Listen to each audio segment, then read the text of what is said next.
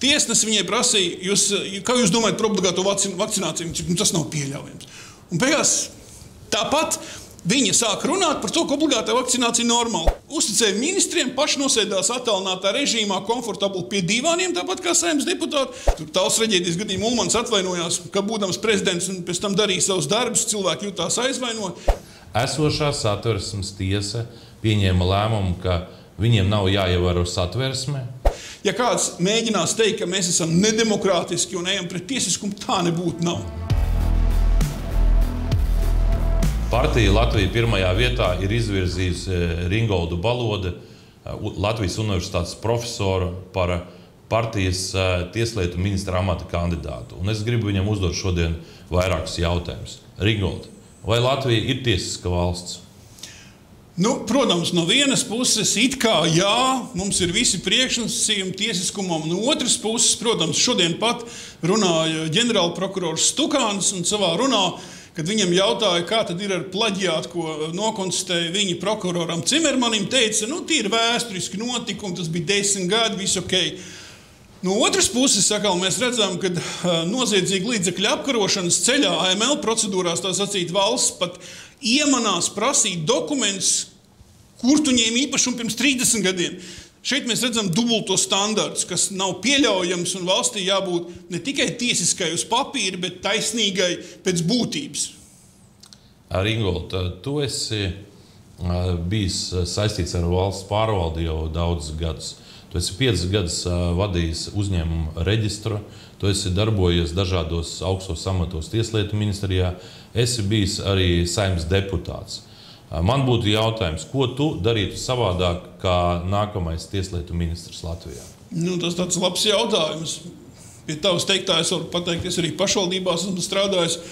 Un, un es gribu teikt, ka man ir daudzi jautājumi, kurus es gribētu pēc būtības saprast. Bet pirmā lieta, kas man jādara kā tieslietu ministram no Latvijas, pirmā vietā ir jāsako programmai. Un programmā no 34 punktiem Pirmie desmit ir tieši tieslietu ministra kompetencija, gan jauktais vēlēšana modelis, gan tautas vēlēts prezidents un tā tālāk. Tā joprojām.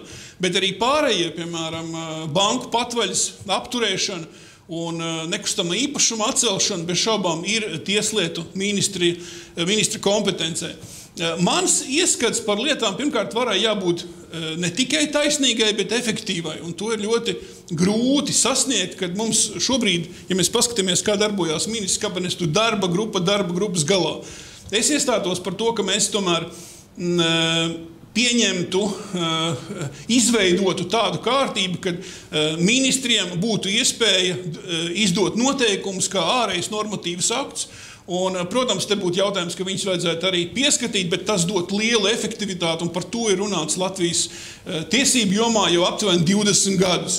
Tāpat tās, kā ir runāts par tautas vēlēto problēmu, un Latvijai, eh, ap citu, Kaktiņš Ārnes teica, SKDS vadītājs, ir liela tendence dažādas problēmas izpērkstēt tukšgaitā, gadu gadiem maļot uz vietas, runājot atkal un atkal. Es domāju, ka mēs esam rīcības cilvēki, Ainā, ar tevi. Un, protams, ka atnākot tev pie vāras, es tiešām ceru tevi redzēt par premjerministru. Un eh, ka mēs varētu šo varu padarīt efektīvu un bez šaubām neaizmirstot par taisnīgumu. Ringold, ir dažas lietas, par kurām pēdējā gada, jeb gadu laikā ir daudz runāts. Viena ir, viens jautājums ir saistīts ar obligāto uh, vakcināciju. Mūsu partija ir skaidri nodefinējusi, un tas programmā ir rakstīts, ka mēs esam par brīvprātīgu vakcināciju, kur katrs cilvēks izdara izvēli pats. Bet bez šīs vakcinācijas mēs esam piedzīvojuši to, ka eh, cilvēki tika pazemoti, represēti, 62,000 cilvēki tika atlaisti no darba tikai tāpēc, ka viņi bija nevakcinēti un atteicās vakcinēties. Daudzus piespieda vakcinēt. Jautājums ir tāds, vai šie lockdowni, viss tas ārprāts, kad uh, veikalos nevarēja cilvēki iet un normāli iepirkties. Vienlaicīgi mēs redzam to, ka vienā veikalā tu vari nopirkt tādu uh, preci, citā tu nevari. Jautājums, cik tas ir bijis tiesiski Un vai tu kā tieslietu ministrs vari garantēt, ka mēs nodrošināsim tiesiskumu, lai cilvēkiem tiešām būtu šī iespēja brīvi izvēlēties, vai viņi vakcinēs vai nevakcinēs? Nu, es to jautājumā redzu trīs lietas. Pirmā, garantēt mūsu valstī neviens un neko nevar. Pat mēs, mēs varam darīt tā, lai nebūtu pēc tam kauns par saviem darbiem un, un, un izpildīt solīto. Tā kā es domāju, ka es darīšu visu, lai varētu uh, šai valstī eh, pirmkārt eh, atjaunot šo tiesiskumu. Nu, es tur saskatu, ka bez šaubām ir jābūt parlamentārai izmeklēšanai īstai, nevis tāda, kā organizēja šī 13. sājuma, lai varētu dot skaidrs vadlīnijas arī tiesību sargājušām institūcijām, piemēram, tai pašai prokuratūrai. Otra lieta, ja mēs runājam par šo obligāto vakcināciju, man tāds personīgais iespējas, gan balstoties uz savu pieredzi, gan novērojumiem, ir tāds, ka mēs daudz skatāmies uz ārpusi, skatāmies, ko pārnacionālā vara domā un dara šai virzienā, tā ir ASV. Tad mēs skatāmies uz Eiropas Savienību, un tad mēs paši kaut kur pazūdam. Un atceries, bija uh, viena mana kolēģe, es neminēšu viņai vārdu, augsta tieslietu sistēmas. Tiesnesis viņai prasīja, jūs, kā jūs domājat par obligāto vakcināciju? Nu, tas nav pieļaujams. Un beigās tāpat viņa sāk runāt par to, ka obligātā vakcinācija ir normāla. Ko es varu secināt no tā? Mums pašiem viedokļi nebija, un kad viņš noformējās ārzemēs, mēs noskatījāmies un pieņēmām to kā savēju. Bet otra lieta, vai trešā, pareizāk sakot, ir, ir stāsts par to, kā pareizi būtu darīt. Nu, pareizi būtu skatīties savās nacionālās interesēs. Un eh, kaut vai nu, banāli, bet paskatieties uz tiem pašiem Igauniem, Lietuviešiem. Nu, viņiem šādu pārspīlējumu nebija. Kāpēc viņi bija pie mums? Nu, tāpēc, ka mums ministru īsti jau nebija. Nu, tavā izteikumā Kariņa Levita režīms, es to saucu par vāju vadīt valdību, kur Kariņš atļauj katram darīt, ko grib. Vienkārši uzticēja ministriem, paši nosēdās attālinātā režīmā, komfortabli pie divāniem, tāpat kā saimnes deputāti, nu, un mierīgi dzīvoja savu dzīvi, kamēr atdeva birokrātijai. Darīt. Nu, ko birokrātija dara? Birokrātija raksta, raksta, raksta. Tagad ir faktiski situācija, ka mums ir neskaitāmi blāķi, papīru, ja, kur faktiski mēs varam aizdzīt gan tiesisko noteiktību, un drošību, tiesisko paļāvību. Satversmes tiešai sakarā pirmajā lietā, kur viņi runāja par dažādām nu, neiedzībām. To, ko tu minēji, ka lielveikalos nevar pānas nopirkt, ka lielie veikali bija cieti mazie vaļā, viņa teica, ka nav ievērots samērīguma princips. Es domāju, ka te var vēl uzskaitīt vēl dažādas lietas, bet būtībā secinājums ir viens: ministri nestrādāja, ļāva birokrātiem izpausties kā grib. Nu, ja viņiem ļauj, viņi arī raksta tos papīra kalnus, un beig, beigās mēs visu izjutām uz savas ādas. Tā kā Latvijai ir nepieciešama patiešām īsti pārvaldītāji, kas saprot šo sāpes. Un, un, un, un cenšas darīt eh, visu to iespējamo, lai tauta varētu normāli dzīvot. Ja mēs runājam par to, kā, kā es saskatu ko vajadzētu iesākt. Protams, ka te ir runa par kompensācijām, materiāliem šiem cilvēkiem, kas tika atlaisti no darba un atstāti faktiski bez iztikšanas līdzekļiem.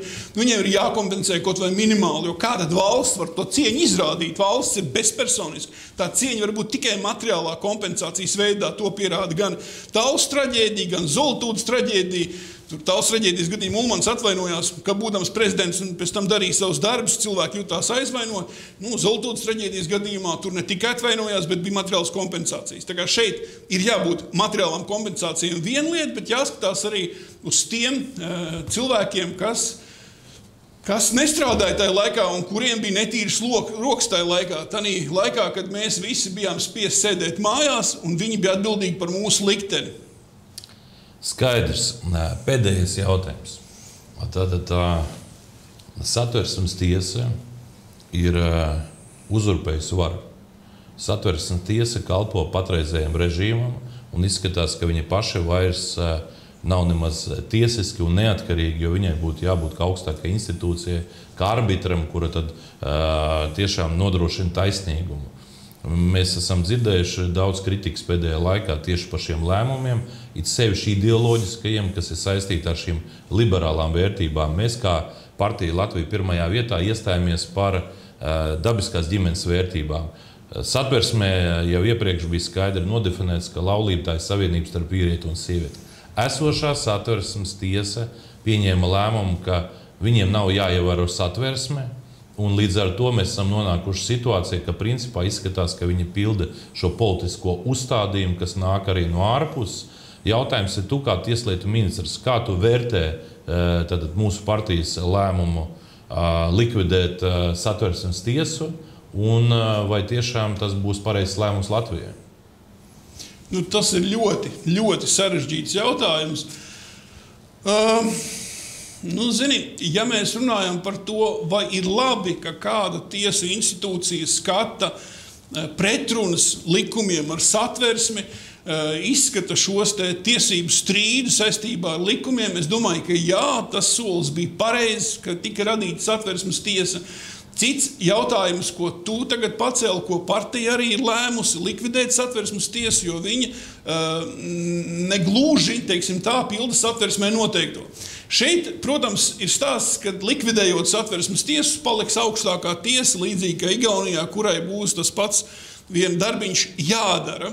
Savā būtībā tā likvidācija ir attieksmes izrādīšana pret konkrētiem tiesnešiem un tiesas veikumu šai laika posmā, jo ļoti ilgus gadus es domāju, ka mēs varam teikt tikai to labāko par tiesu. Šeit uh, man atmiņā nāk, uh, tūlīt jūs sapratīsiet, kāpēc es to saku. Viena diskusija, kas notika juristu vidū uh, pirms pieciem gadiem, ir tāds juristiem pasākums Bīriņa konference, ikgadējā tur arī tie, tie, valsts prezidents Egils Levits, regulārs viesis, viens no centrālajiem personažiem. Un šeit šeit pasākumā, kur bija arī augstākās tiesas priekšsēdētājs Strupišs, bija diskusija, vai nevajadzētu mums kaut kā pārdomāt nākotnē, ka varētu būt viena tāda nevis īsta tiesa, bet IT veidot mākslīgais saprāts, kas tiesātu lietas. No vienas puses, ja šāda tiesa būtu, tiktu izveidota, tur tiktu savadīti visi algoritmi, Eiropas regulas, direktīvas, tie nosacījumi, ko uzliek starptautiskās tiesības. Es domāju, ka tā tiesa arī varētu pat izlemt, par šādu lēmumu, kāds bija satversmes tiesai. Bet uh, tas būtu algoritma atbilde. No otras puses, ir Latvijas tauta joprojām ir suverēns. Latvijas satversme joprojām ir rakstīts šīs lietas, un te ir nepieciešams būt cilvēkiem ar dažādu skatījumu, ne tikai ar vienu liberālu nu, noslēdz un, un cenšanos skatīties, ko saka pārnacionālais spēks, jeb ko saka starptautiskās tiesības. Te e, ir jādomā arī par to, ka mums ir sava tauta un savai tautai e, šai tiesai vajadzētu kalpot.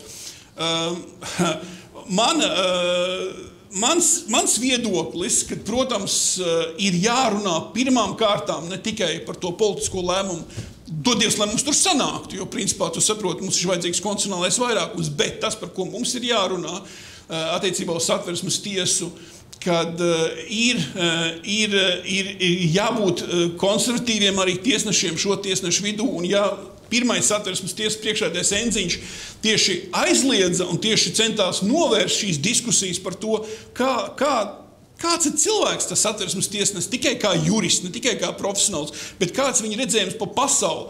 Tad es domāju, ka mums ir jāatgriežas pie šī te, jo nu, mēs varam dažādi skatīties uz Amerikas Savienoto Valstu augstākās tiesas tiesnešu iecelšanu, kad ir republikāņi, tiek iecelti republikāņi atbalstīti tiesneši, kas ir konservatīvi, kad ir demokrāti, viņi cenšas ielikt savējos, nekur tālu mēs diemžēl nevaram tikt no pasaules demokrātijas citadeles un jāskatās, lai šeit būtu tomēr kaut kāds kompromiss. Arī tad, ja pat nebūtu satversmes tiesa, būtu augstākā tiesa, arī tur jāskatās uz augstākās ties, tiesneša iecelšanu. Otra lieta, bez šaubām, eh, šī tieslietu padome, kas ir izveidota, nu, manuprāt, viņā, eh, viņā tomēr ir vairāk tiesnešu pašu lēmumi, nekā teiksim, nu, varētu, varētu mēs gaidīt arī, ka būtu kāds no malas Es, tā, es, es tur personīgi redzu, ka tur varētu būt valsts prezidents. Protams, nu, cits valsts prezidents, par kuru mēs iestātos, tautas vēlēts prezidents, bet tur varētu būt prezidents, kas tomēr pašķaidītu šo tiesnešu sabiedrību. Kā rezultātā tad var pateikt tiesnešu iecelšana. Tur jā, jādomā ļoti nopietni. Tad ir tieslietu padome, lai tomēr nebūtu tā, ka tiesneši būtu tādi neaizskarami kasti. Jā, viņiem, viņiem ir jābūt neatkarīgiem. Protams, viņiem Tomēr tajā pašā laikā jābūt kaut kādai kontrolē, tas ir parlamentārai kontrolē, ko, ko, ko virzītu tautas vārdā. Ja nevienu nekontrolē, tad mēs redzam, kas notiek ar valdību. Parlaments nekontrolē valdību. Ja parlaments ne, nekontrolē, mēs redzam, kas notiek ar parlamentu, un tāpat arī ir tiesa. Tas ir varas dalīšanas princips, kas demokrātija pamatu pamats. Tā kā, ja kāds mēģinās teikt, ka mēs esam nedemokrātiski un ejam pret tiesiskumu, tā nebūtu. Nav. Paldies, Ringo. Tas, ko es vēlos pateikt nobeigumā, Es uzskatu, ka mm, esošais tieslietu ministrs Bordāns ar savu rokas puisi Jurašu ir jānomaina. Un esmu pārliecināts, ka Latvijas sabiedrībai būs eh, iespēja izdarīt izvēli par labu esošam tiesiskumam vai tiesiskumam, kuru piedāvā profesors Ringolds kā lēmumu ir jāpieņem Latvijas tautai, kādu tiesiskumu jūs gribat. Paldies!